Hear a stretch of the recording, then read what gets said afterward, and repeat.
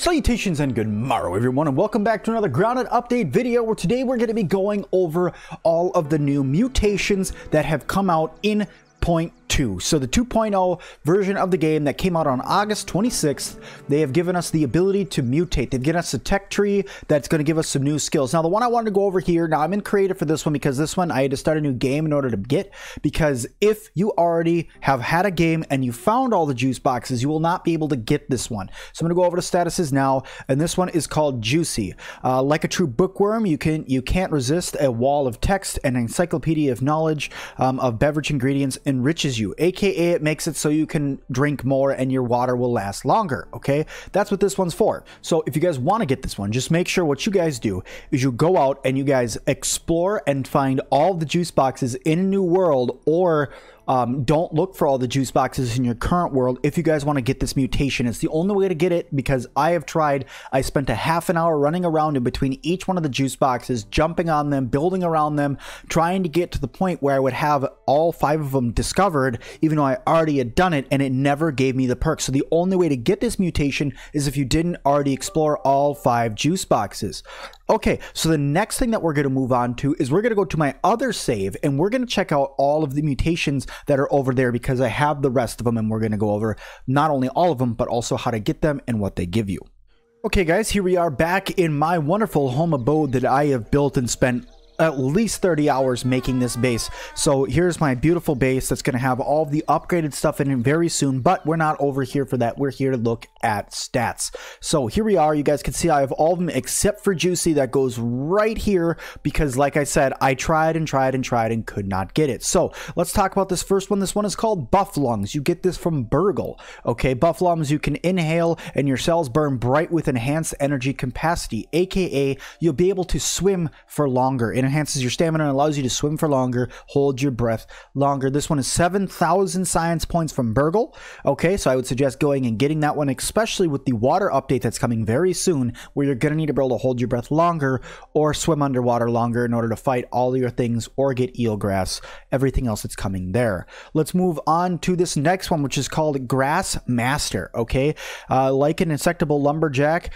uh, you're becoming a living lawnmower. Your intimate knowledge of chopping grass allows you to topple them with E increasing ease. And there are three levels to this one. Now, what I will tell you in order to get the first part of this one, you need to cut down 50 grass planks. Okay, so you need to cut down 50 pieces of grass and it will allow you to get Grassmaster. And every 50 you go on after that is going to increase the level that you guys can see right here. So I have star one, then you have star two and star three, which each one will make it even easier for you to cut down grass. So this skill is going to become super helpful if you're building.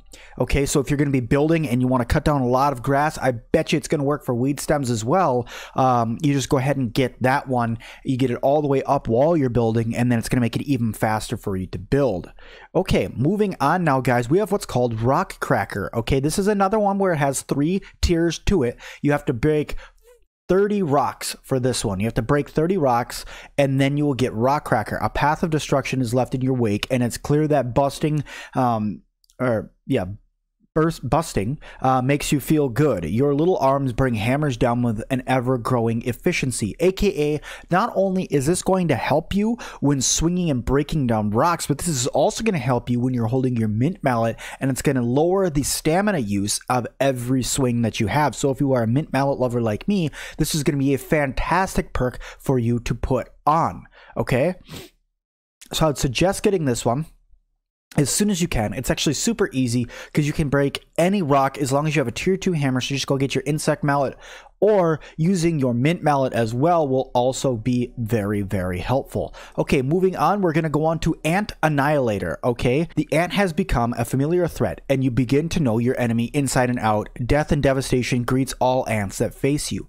So what this tells me is this mutation, you are going to be able to hit ants harder. You're going to do more damage to ants, if especially when you hit them in certain places like their head becomes a critical point for you. Okay, so using this perk, leveling it up, it's uh, Uh, third 50 ants. You have to kill 50 ants in order to get this perk. And every 50 ants after that will allow you to upgrade this perk and you will do more and more and more damage to ants. So if you were planning on going and let's say trying to get more ant eggs and need to kill a bunch of ants, you put on this perk and then all of a sudden ants become not a problem at all. You can kill all of them super, super easy and um, you'll get your ant eggs just like you want. Moving on, we have Little Fist. Little Fist, this one was kind of a pain in the butt to get and I don't know if it's really worth it. Um, your tiny limbs flail and crash upon foe after foe. With every swing, these bitty bones of yours harden and muscles tighten. So in other words, I had to go around and punch 50 things to death.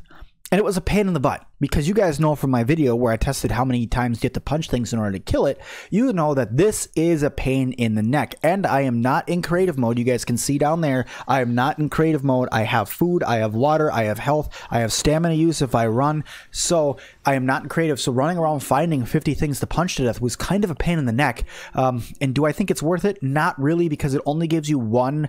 Um, one star in it. Unless you're a completionist like I am and you're trying to get everything that's how you're going to do it okay? But moving on to this next perk which I keep on myself it's coup de grass discovering a beacon of hope in the darkness. Lifts uh, your will to survive. Bursts of inspiration flash before your eyes in the heat of battle as your blows you land only describe as lucky, aka it's going to increase criticals, guys. So if you're going to go out and you're going to be doing any sort of fighting, this is a perk for you. Now, where you find this, guys, is in the new place where the four leaf clover is, and I will show you guys that on my map. If you come down here and you look right here on this edge, right here, if you enter in right here, you'll be able to go underwater, and there will be your four leaf clover. It's right in there, guys guys. So go check that out. It's an easy one to get. It's an easy perk to get. So I would suggest you guys go over there, give that a try, get your perk, and start with all those criticals because those are super, super handy. All right, moving on. Like I said, this is where Juicy goes, but I can't get that one right now um, just because, like I said, I tried and tried and tried and I can't get it. Okay, guys, moving on to the next perk is Natural Explorer. Now, this is one of the easiest perks to get, just like Juicy, okay? Because all you have to do is run around and explore and find things. Now, what I've noticed with this one is even though I've already found everything in the game, as I'm running past landmarks, I'm actually um, unlocking it more and more and more, even though I've already discovered it. It says Natural Explorer, with each landmark found, you gain a better understanding of the lay of the land. Your tiny feet traverse the yard like it's the back of your hand. So, in other words, it allows you to move a little bit quicker. It allows you to, you know, know where things are. You can see things further on your map when you're looking around all of your landmarks and everything like that. And it gives you a better feel of what all you're doing and how you're going to move around. Okay, so that one's pretty helpful. I do like the Natural Explorer perk. It does go all the way to three. I have it at level two right now because I didn't finish going around getting everything because I didn't run to the hedge base and all of that. But I'm assuming as if you find every single landmark in the game, you will get this one all the way to three. Okay, moving on now, we're going to go to Cardio Fan. Now, Cardio Fan is kind of a pain as well to get, but it's totally, totally worth it. Okay, I love this perk. I have it on and I will never take it off again. Exhausting your tiny body over and over, your cells adopt a more efficient respiratory process. So, in other words, it's going to allow you to sprint for a long time. Okay, and the more you use it, the more you get back from it. So, um, in order to get this, you have to exhaust yourself like 30 times, okay? And it's a pain in the butt to do that. But as long as you're running around and exploring, you're gonna keep exhausting yourself. Just hold down that shift button, hold down that sprint button, and never stop running. Because if you guys do that, you'll never run out of stamina anymore because you guys are gonna get this perk and you guys are gonna keep it used all the time.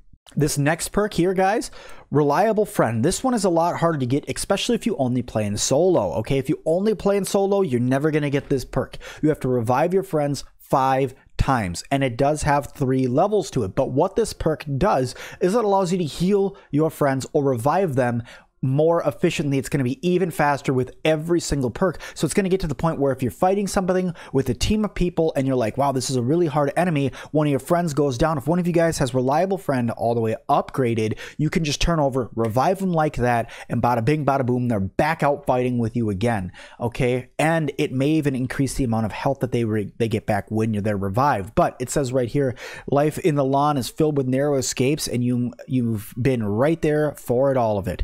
Muscle memory fixed with the hope and determination makes a harrowing rescue all the more probable. So, in other words, it makes you revive faster, guys. It's super helpful. And if you guys want to get this one up, a really quick tip for you guys bring in a friend, grab your mint mallet, turn around and hit your friend in the face with the mint mallet five times and heal them. You'll be surprised on how fast this one's going to upgrade, and you guys will be able to get this and be able to revive your friends super, super, super fast.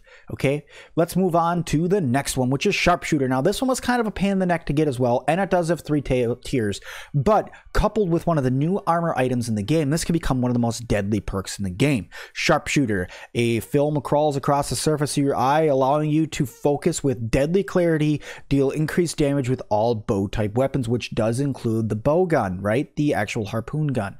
So, in other words, guys, this is going to be super helpful, but you have to kill 40 things with the bow. Now, you may think, well, you know, that's not too bad, but go ahead and try to kill 40 wolf spiders with a bow once without dying. Tell me how hard that is.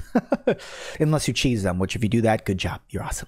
But with everything being harder now, with the update coming out and all the uh, health and everything of everything increasing, it's going to make using this perk even more deadly. But like I said, with Sharpshooter, if you can get this all the way upgraded, and on top of that, you could come over here and you could craft inside of your workbench gear um, Oh, look at that. I don't have it in here. That's that's just wonderful. But the crow helmet, okay, if you can craft yourself your crow hat and go ahead and use that guy, you will be able to um, do even more damage. Let's see what happens when I go ahead and research the crow feather. Now, I guarantee this is probably going to give me that crow hat that I wanted. Raw science. Ooh, it also gives you feather arrows. Okay, I didn't even know about feather arrows until right now. That's pretty, that just goes to show how many times I've played this game and how much time I've put into it just to be able to come in here and go, well, how do we make crow arrows, I guess? And it's probably right here, right underneath here, feather arrows. Yep, uh, crow feather piece and spider web, a fancy arrow crafted from sleek crow feathers and strands of spider bit web. I bet you that they do even more damage. So if you uh, if you combine this and also your wonderful hat that you get, which is right here, the Marksman Cap, the only tier 3 armor in the game, plus this final status of the Sharpshooter. You could be killing wolf spiders in two or three arrows at that point if you shoot them in the face. So I would suggest taking your time going out and getting Sharpshooter. Guys, this next one is called Meat Shield. Okay, we're moving on to the next one. It is Meat Shield. Uh, your size to meat ratio is off the charts. You take hits like a champ. This gives you 10% more health okay it's nice but it only gives you 10% more health. Um, it's 7,000 raw science to BURG.L, which is a lot, especially in the beginning of the game, and only for 10% more health. I would suggest just getting yourself Ladybug armor instead of focusing on this perk, because um, right now it doesn't seem like it's doing a lot unless we give other mutations that give you even more health, or you could start getting health boosts. Okay, so good perk, not really worth it at the moment. And guys, we move on to our final perk that we have of today that is inside of this update, and that is Fresh defense. A plume of mint dust envelops you and sends you in a cool wave rippling through your skin. Cells activate a freshness layer to combat the sting of all the stings and burns. So guys, what that tells me is it's not only increasing your defense, but this one is also going to make it so you can get, you can take less damage from like poison stuff like that. Now going into OS, if you come over here and you start looking through some of these, it's not really going to tell you what all of these are. Okay. So you know, it, it, it gives you some hints, but it's not going to actually tell you. These are just speculations. This is off of testing that I have done. This is not 100% fact, like I would like to say in all my videos. Everything is all of a speculation out of testing that I have done through the over 200 hours I've put to this game and just coming up with the most reliable and accurate information for you guys. So I hope you guys like this video. I hope you guys like all the perks that were added. I know that it's not the water update like we promised, but that is coming very soon. You guys, I would appreciate if every single one of you could hit the like button on this video because it really does help me out. You guys can leave me a comment down below with other questions, or if you guys want to know how to do anything else in the game, I'm always willing to answer those questions. Make sure you guys subscribe today, turn that bell notification all so you guys never miss my answering Q&A streams for you guys and where I'm in the dev world. And as always, I will see all of you guys in the next one.